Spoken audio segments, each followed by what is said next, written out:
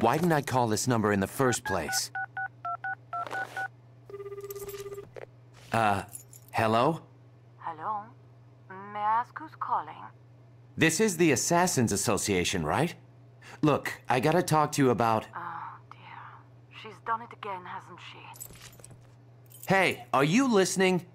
Excuse me for asking, but are you by chance an assassin? Whoa, don't tell the whole world.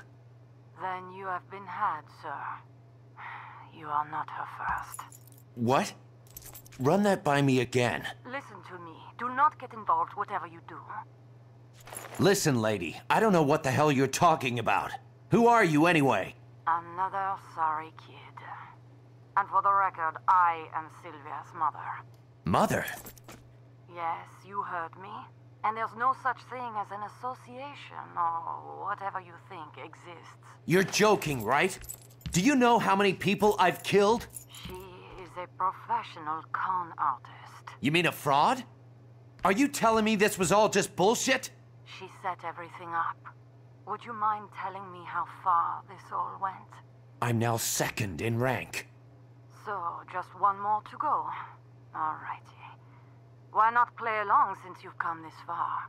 Are you serious? What's the point? This is all some make-believe charade. But a good man finishes what he started. Fight to the end. Your most formidable opponent awaits in the castle. Now, off to the Garden of Madness.